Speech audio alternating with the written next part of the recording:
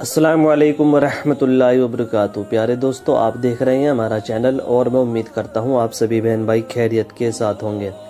प्यारे दोस्तों, माह रजब का पहला जुमा आ गया है और आप सबको हमारी तरफ़ से जुमा मुबारक। प्यारे दोस्तों जुमे का दिन बहुत ही फजीलत और बरकत वाला दिन है। जुमे के दिन ही दुनिया बनाई गई थी। तो प्यारे दोस्तों, आज हम आपकी खिदमत में जुमे के दिन का एक ऐसा अमल, एक ऐसा वजीफ़ा लेकर आए हैं। अगर आप लोग इसे यकीन और इखलास के साथ कर लेते हैं तो इन ताला आपकी हर हाजत, हर जायज़ दुआ, हर मकसद में आपको बहुत जल्द कामयाबी मिल जाएगी। जी हाँ प्यारे दोस्तों, जैसे कि आप सभी को मालूम है, रजब का महीना चल रहा है और यह रजब का पहला जुमा है। जी हाँ प्यारे दोस्तों, माह रजब का पहला जुमा है। अगर इस दिन आप इस अमल को कर लेते हैं तो आपकी कोई कितनी भी पुरानी हाजत हो आपकी कोई दुआ कितनी ही पुरानी जो कबूल नहीं हो पा रही है तो आप एक मरतबा इस अमल को करें और फिर अपनी हाजत, अपनी दुआ अल्लाह ताला के सुपुर्द कर दें तो इन ताला आपकी हर हाजत, हर दुआ बहुत जल्द कबूल होगी।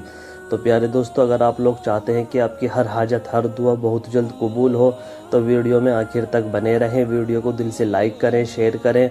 और अगर आप हमारे चैनल पर पहली बार आए हैं तो हमारे चैनल को सब्सक्राइब ज़रूर करें। अल्लाह ताला की बारगाह में दुआ है, हम सभी लोगों का हर एक जायज़ मकसद पूरा हो, हर एक जायज़ दुआ कबूल हो। हम सभी लोग हर तरह की परेशानी से, मुसीबत से, दुख, तकलीफ़ से महफूज रहे।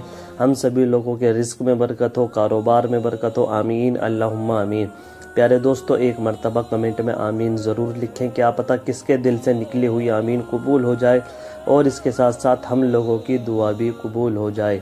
जी हाँ प्यारे दोस्तों।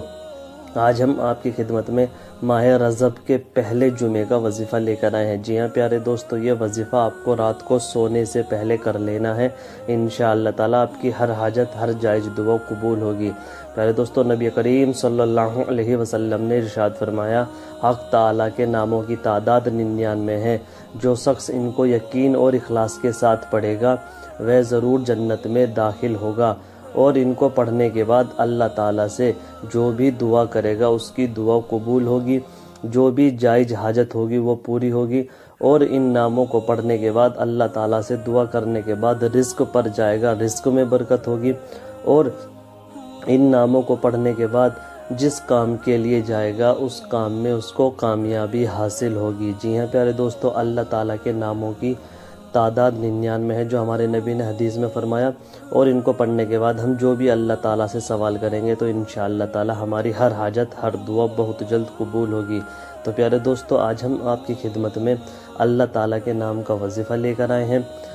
वजीफ़ा आपको रात को सोने से पहले किसी भी वक्त कर लेना है। जी हाँ प्यारे दोस्तों, वजीफ़ा आपको किस तरीके से करना है? जब आप रात को सोने से पहले सारी तैयारी कर लें। जब आपको लगे कि अब हम बिस्तर पर बैठकर सोने वाले हैं तो शुरू में तीन मरतबा दरूद पाक पढ़े, जो भी दरूद शरीफ आपको याद हो। उसके बाद ये अल्लाह ताला के नाम, या अल्लाह, या रहमानु, या रहीमु। या अल्लाह, या रहमानु, या रहीमु। या अल्लाह, या रहमानु, या रहीमु। ये हमें सौ मरतबा पढ़ने हैं। जब हम सौ मरतबा ये अल्लाह ताला के नाम पढ़ लें, आखिर में तीन मरतबा वही दरूद पाक पढ़ें जो शुरू में पढ़ी थी। वजीफ़ा हमारा मुकम्मल हो चुका है। अब आप अल्लाह ताला की बारगाह में हाथ उठाकर रो रो कर, गिड़ गिड़ा कर आजिजी के साथ अपनी हर हाजत, हर दुआ अल्लाह ताला के सामने पेश करें। इन ताला बहुत जल्द आपकी हर हाजत, हर दुआ कबूल होगी। प्यारे दोस्तों, वजीफ़ा आपको यकीन और इखलास के साथ करना है और वजीफ़े के दरमियान आपको किसी से बातचीत नहीं करनी। चुपचाप रहकर वजीफ़ा करना है।